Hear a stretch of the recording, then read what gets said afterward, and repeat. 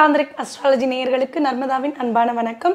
நம்மளுடைய நேயர்களுக்கு பல்வேறு விதமான ஆன்மீக சந்தேகங்கள் இருக்குது அந்த சந்தேகங்களுக்கெல்லாம் தீர்வு கொடுக்கறதுக்காக இன்னைக்கு நம்ம ஸ்ரீ தாந்திரிக் அஸ்ட்ராலஜியினுடைய நிறுவனர் ஐந்து தலைமுறை தாந்திரிக ஜோதிடர் டாக்டர் விஜய் சேதுநாராயணன் சார் அவர்கள் இணைஞ்சிருக்கிறாங்க. வணக்கம் சார். வணக்கம் மேம் எப்படி இருக்கீங்க? ரொம்ப நல்லா இருக்கேன் சார். நிறைய பேர் வாழ்க்கையில பிரச்சனை இல்லை குடும்பத்துக்குள்ள கூட்டு குடும்பத்துக்குள்ள சச்சரவு அப்படின்னு அந்த பித்ருக்களுடைய சாபம் அப்படின்னு சொல்றாங்க. உண்மையிலே பித்ருக்கள் சாபம் அப்படின்றது உண்மையா? உண்மையா இருந்ததா அந்த பித்ருக்களுடைய சாபத்தை போக்குறதுக்கு நம்ம என்ன பண்ணணும்? முதல்ல சாபங்கள் தோஷங்கள். இதுக்கு வித்தியாசம் நிறைய இருக்குது தோஷங்கள்ங்கிறது பல நாள் கண்டுக்காமல் விட்டால் அது தோஷமாக மாறிடும். சாபங்கள்ங்கிறது உண்டு. அப்போ பித்ரு சாபம் அப்படின்னு சொல்ல சொல்லக்கூடிய அமைப்புகளில் இது மேஜராக எங்கே வரும்? அப்படின்னா இந்த உங்கள் இதுலேயே பார்க்கலாம். உங்கள் குடும்பங்கள்லேயே நேயர்களே பார்க்கலாம். ஒரு சில குடும்பங்களில் வந்து உங்களுக்கு அம்மா அப்பா கூடயே டேர்ம்ஸ் சரியில்லாமல் இருக்கலாம். அதே மாதிரி சொத்து பிரிக்கக்கூடிய இடங்களில் வரும்போதும் சரி இந்த மாதிரி விஷயங்கள் இருக்கலாம். இந்த சாபங்கள் போடக்கூடிய அமைப்புகள் இருக்கலாம். பெண் சாபங்கள் வாங்கியிருப்பாங்க. இப்போ அதாவது சுய ஒழுக்கத்தோடு இருக்கிறவங்க சில பேர் இருப்பாங்க. சில பேர் சுய ஒழுக்கம் இல்லாமல் இருக்கிறவங்க இருப்பாங்க. அதாவது ஆணும் பெண்ணும் சேர்ந்து ஒத்துண்டு சில விஷயங்கள் செய்கிற அது வேறு. அது அவங்க அவங்களோட பர்சனல் இது. அதை விட்டுருங்க. பட் சில பேர்லாம் கட்டாயப்படுத்தி சில பேரை துன்பப்படுத்தக்கூடிய சில குடும்பங்கள்லாம் இருந்தது. அந்த காலங்களில் இருக்குது ஒருவேளை அந்த குடும்பத்தை சேர்ந்த யாராவது ஒருத்தர் அப்படி பண்ணியிருந்தாருங்கன்னா அந்த பெண் சாபங்கள் அந்த குடும்பத்தை படுத்தும்.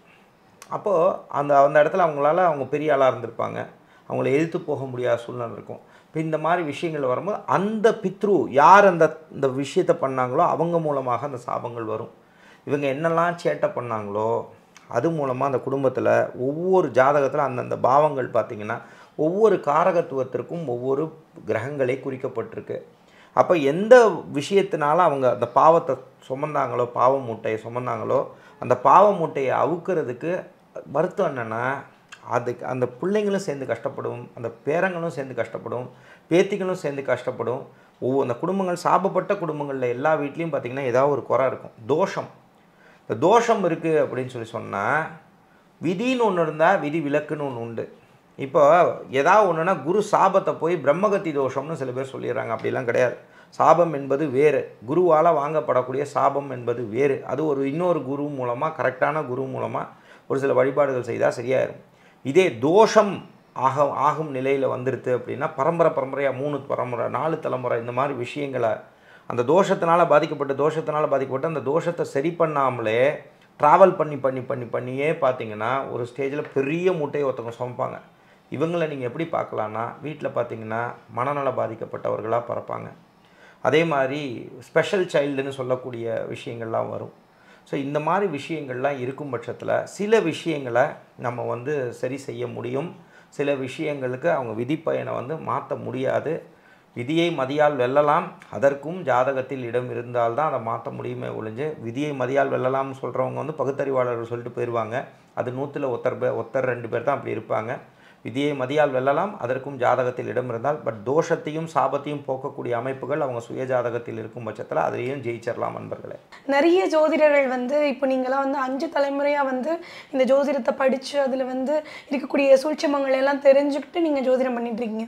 ஆனால் நீங்கள் நிறைய ஜோதிடர்கள் வராங்க ஒரு தவறான வழிகாட்டுதல் தராங்களோ அப்படின்ற மாதிரியான சந்தேகங்கள் வந்து நம்ம நேர்களில் நிறைய பேருக்கு இருக்குது ஏன்னா ரீசெண்டாக வந்து ஒரு வீடியோவில் வந்து ஒரு குட் டே பிஸ்கெட் சாப்பிடுங்க. அன்றைக்கி நாள் குட் டேவாக இருக்கும். ஒரு பாஸ் பாஸ் பார்க்க வந்து தலைக்கடியில் வச்சிங்கன்னா பசங்கள்லாம் பாஸ் ஆகிடுவாங்க இப்படிலாம் சொல்கிறாங்க சார் அதை நீங்கள் எப்படி பார்க்குறீங்க? அதான் சொல்கிறேன் நம்ம அந்த இந்த நம்பர் நீங்கள் சொல்லக்கூடிய நம்பரை நபரை எனக்கு பர்சனலாகவே தெரியும். அவருக்கு எனக்கு பர்சனலாக எந்த இதுவும் கிடையாது. பட் இருந்தாலும் இந்த மாதிரி ஒரு நம்ம ஒரு மீடியா கிடச்சிருச்சு அப்படிங்கிறதுக்காக அதை தம்பி நீங்கள் பார்த்தாலும் சரி உங்களுக்கும் என்ன தெரியும் என்னையும் உங்களுக்கு தெரியும் சரிங்களா? அப்படிங்கும்போது ஒரு மீடியா நமக்கு கிடச்சிருது அப்படிங்கிறதுக்காக இந்த மாதிரிலாம் ஒரு தவறான விஷயங்களை சொன்னால் இதனால இது ஒரு நெகட்டிவ் பப்ளிசிட்டி தான் ஆகுமே ஒழிஞ்சு இதனால் அந்த ஓவராலாக இருக்கக்கூடிய அந்த இமேஜே பாதிக்குமே ஒழிஞ்சு அப்போ அந்த மாதிரி சில விஷயங்கள் எதை எடிட் பண்ணணுமோ ஏன்னா மக்கள் வந்து ரொம்ப ஷ்ரூடு இன்றைக்கி மக்கள் வந்து ரொம்ப அறிவாளிகள். நம்ம ஒரு வார்த்தை சொல்கிறோம்னா கவனமாக பேசணும். ரொம்ப கவனமாக பேசணும். அதே மாதிரி இறைவன் நமக்கு ஒரு வாய்ப்பு கொடுத்துருக்காங்கன்றதுக்காக கிடச்சதெல்லாம் பேசிகிட்டு இருந்தோம்னா கடைசியாக அந்த என்ன சொல்கிறது அந்த உண்மையாகவே இந்த ஜோதிடத்தை நேசிக்கக்கூடியவர்கள் அதே மாதிரி உண்மையாகவே இதை முறையாக கற்றுன்னு வந்து முறையாக உட்காந்துருக்கவங்களுக்கெல்லாம் உள்ளபடியே வலிக்கும். அதுவும் வந்து தவறாக தான் போகுமே ஒழிஞ்சு அந்த மாதிரி இருக்கிறவங்களுக்கு அவங்க அவங்க புரிஞ்சுக்கிட்டிங்கன்னா அது அவங்கவுங்களுக்கு நல்லது. பட் இதனால் அந்த டோட்டல் இண்டஸ்ட்ரியே தப்பாக இருக்குதா அப்படின்னு கேட்டிங்கன்னா கிடையாது. இவங்கெல்லாம் ஒரு ஸ்டேஜில் ஒதுக்கப்பட்டுருவாங்கன்றது தான் மக்கள் ஏன்னா ரொம்ப அறிவாளிங்கிறது தான் இதில் இருக்கக்கூடிய உண்மை அன்பர்களே. சார் இப்போ வந்து நிறைய பேர் வந்து நல்ல செல்வ செழிப்போடு இருந்திருப்பாங்க. ஆனால் அதெல்லாம் திடீர்னு வந்து லாஸ் ஆயிருக்கும். அவங்களுக்கு என்ன காரணம் அப்படின்னே தெரியாது. மறுபடியும் அந்த பணத்தை சம்பாதிச்சாலுமே கூட அந்த பணம் வந்து கையில் நிறைய பேருக்கு நிற்கிறதே இல்லை. அப்படி இருக்கக்கூடியவங்களுக்கு என்ன காரணமாக இருக்கும்? அவங்களுடைய சுயஜாதகமா இல்லை அவங்களுடைய கர்ம பலவனா சார்? நல்ல கேள்விங்க. ஆக்சுவலாக இந்த மாதிரி விஷயங்களில் வரும்பொழுது நான் திருப்பியும் சொல்கிறேன் நண்பர்களே தீதும் நன்றும் பிறர் தர வாரா? எனக்கு தெரிஞ்ச நான் பேர் சொல்லக்கூடாது ஏன்னா அவர் என்னை ரொம்ப நம்புகிறவர் ஒரு மிகப்பெரிய டைரக்டர் நான் சொல்கிறது புரியுதுங்களா? அவர் வந்து ஒரு எல்லாருக்குமே பிடிச்ச ஒரு சில ஹீரோவெல்லாம் அவர் அறிமுகப்படுத்தினவர் பெரிய பெரிய ஹிட்டு கொடுத்த டேரக்டர் இன்றைக்கி அவரோட நிலை என்ன தெரியுமா? கோயம்புத்தூரில் ஒரு இடத்துல வந்து கால் சென்டரில் அசிஸ்டன்ட் மேனேஜராக வேலை பார்த்துட்டுருக்காரு அவர் பார்க்காத ஸ்டார்டம் கிடையாது. அவர்கிட்ட இல்லாத காசு முன்னாடி இருந்த காசு கிடையாது. எனக்கு தெரிஞ்ச இன்னொரு பெரிய ப்ரொடியூசர் தெரியும். அவர் எல்லாத்துக்குமே புதுமையாக இன்றைக்கி பிரம்மாண்டம்னு சொல்லக்கூடிய லெவலில் இருக்க டேரக்டர்ஸ் எல்லாம் இன்ட்ரடியூஸ் பண்ணவங்களும் எனக்கு பர்சனலாக தெரிஞ்சவங்க தான்.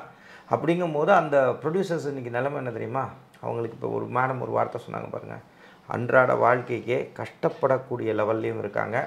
அப்போ இதெல்லாம் ஒரு ரிசர்ச் ஃபைண்டிங்காக சொல்லும் பொழுது இது எல்லாமே சில காலமே அப்படின்ற மாதிரி அந்த கிரக சூழ்நிலைகள் வரக்கூடிய காலங்களில் அவங்க வந்து இந்த மாதிரி நிலையில் வந்துடுறாங்களா? சத்தியமாக உண்மை.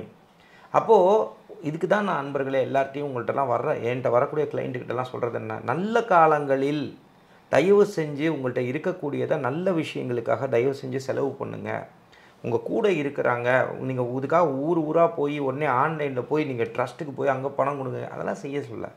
உங்கள் கூட இருக்கிறாங்க. நீங்களே ஒரு முதலாளியாக இருக்கீங்களா? உங்களை சுற்றி ஒரு நாலு பேர் நல்லா இருக்கணும்னு நினைங்க. அவங்கள சந்தோஷப்படுத்துங்க. அவங்கள்ட்ட நல்ல வாழ்த்துக்களை வாங்குங்க. நீங்கள் இருக்கக்கூடிய காலங்களில் எதெல்லாம் சத்காரியங்களோ ஏன்னா பேடு கர்மாஸ் உங்களுக்கு ஒரு வேலை இருந்திருந்தாலும் சஞ்சித கர்மாவில் இருந்திருந்தாலும் இந்த பிராரப்த கர்மாவில் பிராரப்த கர்மானா இந்த ஜென்மம் இந்த இந்த க்ஷணம். இந்த காலங்களில் நீங்கள் செய்யக்கூடிய வந்து புண்ணியங்கள் நீங்கள் சேர்க்கக்கூடிய சந்தோஷங்கள் நீங்கள் வாங்கக்கூடிய ஆசிர்வாதங்கள் போன ஜென்மத்தில் நீங்கள் செய்த பலன்களை வீரியத்தை குறைக்கும்.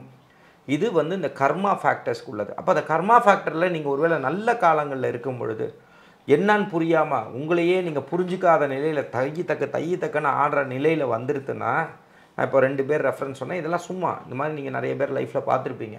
இதே மாதிரி அந்த லெவலில் நம்மளை கொண்டு வந்து விட்டுருங்கிறது தான் வருத்தமான சூ சூழ்நிலை. இதற்கு நீங்கள் என்ன புரிஞ்சுக்கணும்னா இதுக்கு ஜாதகமும் பொறுப்பு தான். அதே மாதிரி நாம் செய்யக்கூடிய கர்மாவும் பொறுப்பு தான். பட் இருந்தாலும் அந்த நிலையில் வருதுன்னா நமக்கு குறி காட்டும். நமக்கு குறி காட்டும். நம்ம கீழே உழுவ போகிறோம் அப்படிங்கிற உடனே கிரகங்கள் வந்து அப்படியெல்லாம் தள்ளிலாம் விட்டுறாது பட் அந்த இடத்துல சுதாரிச்சுக்கிறவங்க விதியை மதியால் வெல்லலாம். அதற்கும் ஜாதகத்தில் இடம் இருக்குங்கும் போது எத்தனையோ சேர்மன்ஸ் வராங்க சிஇஓஸ் வராங்க ஒரு நல்ல வேலையில் இருக்கவங்களே என்ன பண்ணுறாங்க டக்குன்னு இந்த மாதிரி தடுக்குதே நம்ம என்ன பண்ணுவோம் அப்படிங்கிறத சுதாரிக்கிறதுக்கும் அந்த ஜாதகத்தில் மித்த கிரகங்கள் ஷட்பலங்கள் நல்லபடியாக இருந்து அவங்களுக்கு நல்ல காலங்கள் இருக்கும் பொழுது அவங்களுக்கு பிடிச்ச ஜோதிடரையோ அவங்களுக்கு பிடிச்ச குருமார்களையோ போய் பார்க்குறாங்க. அது மூலமாக பெரிய இழப்புகள் இல்லாமல் கம்மியாக வந்துடுறாங்கன்றது தான் உண்மை. அந்த மாதிரி ஒரு பொசிஷனில் இருக்கும் பட்சத்தில் எனக்கு என்ன செய்கிறதுனே தெரியலை அப்படின்னு சொல்லக்கூடிய நிலையில் நீங்கள் இருந்தீங்கனாலும் தாராளமாக எங்களுடைய எங்கள் ஆஃபீஸை நீங்கள் தொடர்பு கொள்ளலாம். அதற்கு எங்களால் என்னென்ன சொல்யூஷன்ஸ் கொடுக்க முடியுமோ கண்டிப்பாக உங்களுக்கு பண்ண முடியும் நண்பர்களே. சார் நம்மளுடைய நேயர்களுக்கு இந்த கேள்விகளுக்கு ரொம்ப தெளிவான ஒரு விளக்கம் வந்து கொடுத்தீங்க. கண்டிப்பாக இதை பார்த்துட்டு இருக்கக்கூடிய நம்ம நேயர்களுக்கும் இது ரொம்ப பயனுள்ளதாக இருக்கும் நம்புகிறோம் ரொம்ப நன்றி சார். மற்றொரு மகிழ்ச்சி. நன்றி மேடம் நன்றி.